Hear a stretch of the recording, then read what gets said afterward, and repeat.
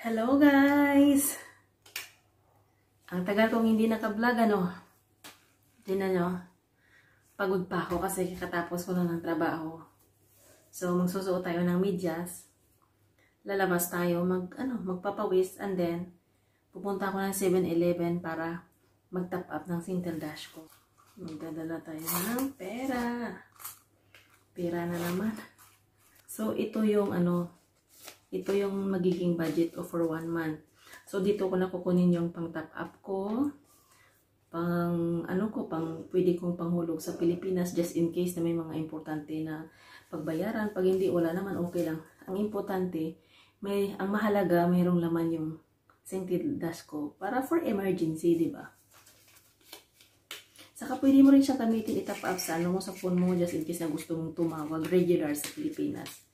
So, ano, ma madali lang siya. Ang mahalaga, mayroon kang load. so, ayan. Ito yung labasan.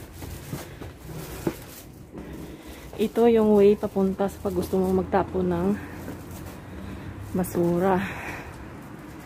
O, diba? Ayan. Pwede ang labasan.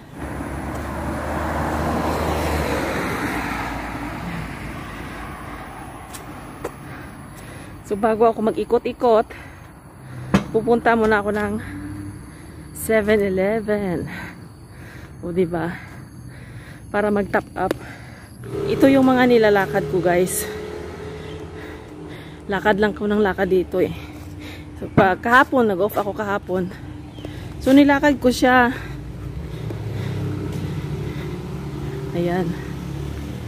Mga 15 minutes din eh, oh, yung lalakadin ko pag uh, gusto kong ano pag gusto ko mag off day 15 minutes hanggang sa marating ko yung ano yung MRT station sa 6th Avenue. Walang bus na pumapasok dito eh. So pag uh, nagmamadali ka pwede kang tumawag ng ano ng taxi. Pero sayang yung pera. So sa umaga mas maganda naman yung maglakad na lang. So ganito lang dito palagi ah pero pag naglalakad ako dito, enjoy na enjoy ako sa mga sa paligid. Kasi guys, tingnan nyo naman. Marami kang makikitang bulaklak dyan. Ayan. ba diba? Tapos ang gagara ng kaya ang gagara kaya ng bahay dito. 'Di ba?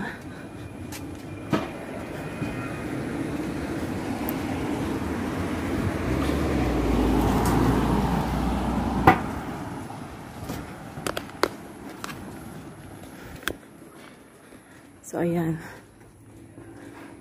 Tingnan nyo, mali malinis yung paligid, oh. Kasi, wala kang makikita nagkakalat dito. Kabi-kabila yung basurahan.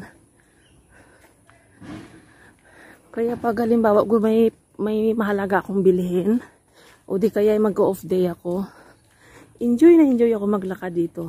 Kasi ang ganda ng lugar. Napakalinis. O, di ba? Malapit na ako naririnig ko na yung mga ano yung mga huni ng sasakyan. Ah, doon na tayo. Malapit na talaga. So ayan. Sa kabila merong restaurant. So usually nag-ooperate siya. Eh anyway simula naman sa umaga hanggang sa gabi nag-ooperate yan. Pero mas maraming tao pag gabi. Yung iba umiinom. Nagdi-dinner o dadaanan pa natin yung wine culture. Ayan. Di ba? Ang sarap. Ayan, tingnan niyo guys. Ang daming wine. Sari-saring wine. Ayan. Wine culture. At saka meron ding spa dito. Ayan. Kingdom Spa. Di ba? So, nung ano, nung nagpa-medical ako, kasi every 6 months, ano yun eh, na kailangan ko magpa-medical. So, dito ako pumunta. Mayroon ding dentist dito. At saka, mayroon ding, yan, hindi yan ako nagpa-medical dati.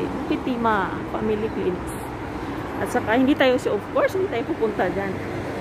Dito tayo sa kabila sa 7-Eleven. Diba? Guys. Pasok na tayo.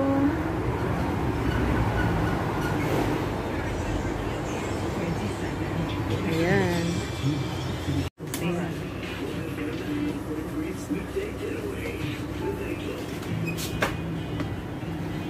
Diba? Ito na siya. Charan! so, babalik na tayo at mag-start ng mag-exercise. Malayo-layo lang yung lalakarin pero okay naman. Ayan, may bus.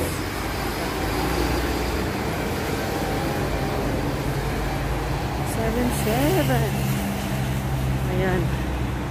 So, dito mo makikita, ayan, yung mga bus na dumadaan dito. So, di ba guys, organize sila. Alam mo kung anong bus yung kailangan mo sakyan, nandyan lang. Tingnan nyo guys, ang tataas ng kahoy. O, di ba?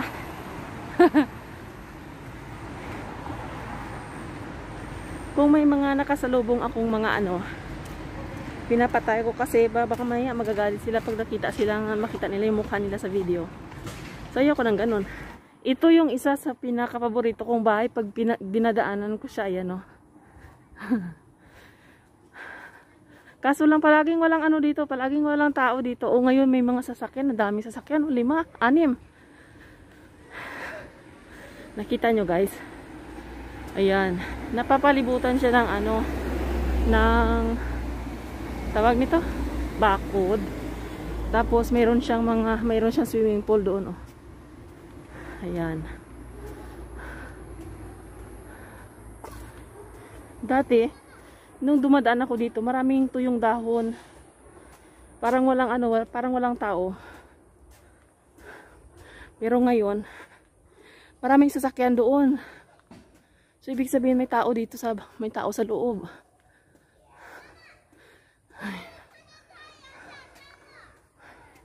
Oh, tingnan nyo guys. Oh, may niyog pa sila. nakakapagod din. Especially pag uh, matagal ka nang hindi nakapag ano, nakapag-exercise na naman. Umulan kasi palagi. Ayan. O, diba? Tingnan nyo guys, yung takip silim. May araw pa dito, oh. Mag-aalas 7 na. O, diba? So, ito guys, nakita nyo. From here, ayan. From here, hanggang dito, ayan. Iniikot ko yan. Para ano, pag gusto ko mag-exercise. O, diba? So, makikita mo talaga na ano, yung mga lifestyle ng mga mayayaman. Sa bahay pa lang. Ang ganda na. Ayan. Kailan kaya tayo magkakabahay ng ganito kalaki? Ako sa akin naman kahit hindi naman ganito kalaki yung bahay, ang importante presentable. 'Di ba? Yung may mga sariling kwarto lang yung mga anak ko kasi malalaki na. Kami ng asawa ko. 'Di ba? Masaya na ako sa ganun. Tingnan nyo guys, ang ganda ng ano, ang ganda ng sunset. 'Di ba? Ayan guys. Oh. Tingnan mo. O di ba? Napakalawak. Bakanting lote siya. so yung mga mayayaman, palagi ko nakikita dito na may mga dalang mga remote control na aeroplano. Dito sila pumupunta. Oh, ayan. May isang puno. So pwede siyang upuan sa ilalim. Maupuan nga. Ayan. Pero nakita nyo doon guys, oh, yung poste doon. CCTV yan eh. O, diba? Makaupo nga. Ay, nako. So, palagi akong dumadaan dito every time na mag-exercise ako at na napagod ako. So, dito ako umupo. Ayan, tingnan nyo. So, maganda siya kasi parang nawawala yung stress mo, di ba Nakaka-relax yung paligid. At saka, makapag-isip-isip ka na rin, di ba At saka parang ano na rin, nagre-reminisce ako nung, ano, nung probinsya namin. So, dito ako napupunta nakaupo lang ako dito, tingnan, na tumitingin-tingin ako sa mga tao dyan na nag, naglalaro sila kasama ng mga anak nila or di kaya yung mga uh, katulad ko na OFW na naglalakad ng aso, nagbabantay ng mga alaga nila na naglalaro ng bula. So dito makikita mo yan, kaso lang ngayon, ano na kasi, medyo basa kasi yung lupa dito kasi ulan ng ulan, kaya medyo walang marami nakatambay ng mga bata dito ngayon. Pero syempre, pag mga nag-exercise, dyan sa, sa paligid, marami kang makikita yan sa mga gilid ng kalsada na nagdada, naglalakad. So, alis na ako guys kasi parang dumidilim na. Hindi pa ako nangangalati. Da, na, ano, ano lang talaga. Pumunta lang ako dito para, mm, para magpahinga ng konti kasi hiningal. hiningal, hiningal ako nung papunta doon sa ano kanina, sa may 7-Eleven para mag-top up. So, let's go ulit. So, kasi, last Christmas at saka last of days na parami yung kain kaya hindi na ako nag New Year's resolution na pumayat eh. Kasi wala din namang nangyayari. Di ba? Eh wag na. Magsabi ka na lang na mag-exercise ka palagi para kahit pa paano maging healthy. O di ba? Huwag ka na magsabi ng papayat kung hindi rin naman kayang gawin. Ay, naku guys. Nung ano, nung nakaraan, nung sa kasagsagan talaga ng ano, ng pandemya, nako, halos walang sasakyan dumadaan dito. Tapos pag nakita ng mga tao na nagkakasalubong, parang takot sa isa't isa. o di ba? Ito yung dulot ng ano, ng pandemya sa tao. Takot na takot sa isa't isa. Ito guys, tingnan nyo. Papakita ko sa inyo. Di ba? Ang daming badya. oh. Calling plant, plant, plantitas. Marami. Tapos tingnan nyo yung kanal sa baba. Di ba malalim siya? Kaya walang ano dito eh. Walang bara ng mga kanal kasi ang lalaki ng mga kanal dito hindi katulad sa atin na parang takot naman na takot yung tao na gumawa ng kanal ayan. Tingnan nyo guys oh. Christmas pa rin. Sandali. Christmas pa rin. So nandito na ako sa guards house. Pauwi na. Natuyo na yung ano natuyo na yung pawis ko kasi Umupo na ako doon kanina sa may ano, sa may bench. Nagpahinga ng konti. Yung mask ko nandito pa rin oh. so ano na lang. Malapit na ako sa sa ano sa bahay. So pag-uwi, maligo, mag uh, ano, maglinis ng katawan, 'di ba? At saka magpahinga na para bukas ready na naman ulit sa trabaho. So, nandito na ako ngayon sa bahay namin. Ayan. So, bye guys. So, sa mga hindi pa nakapag-subscribe yan sa channel ko, huwag kalimutan mag-like, mag-subscribe, at i-hit ang notification icon para updated kayo sa mga susunod ko pang video. Ako po si Billy. Paalam! Bye guys!